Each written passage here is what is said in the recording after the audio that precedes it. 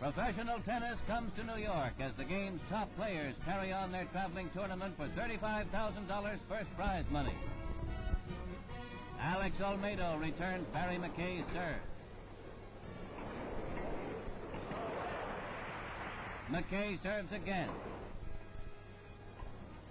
But the former world amateur champ from Peru takes the point. Olmedo's luck changes.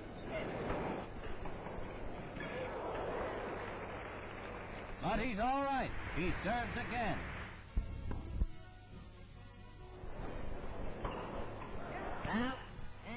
McKay wins the one-set match 10-8. The former U.S. Davis Cup star is showing good form. Now the king of the pros. Pancho Gonzales takes this point from Lew.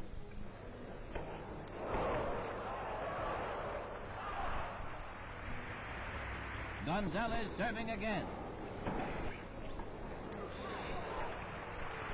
At 33, Gonzales is getting a little old, and his Australian opponent is as tough as any he has to face.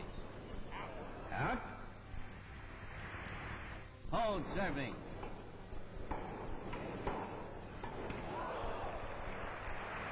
Pancho still has that big game. Game, set, and match, Mr. Gonzales. He wins 11 games to 9.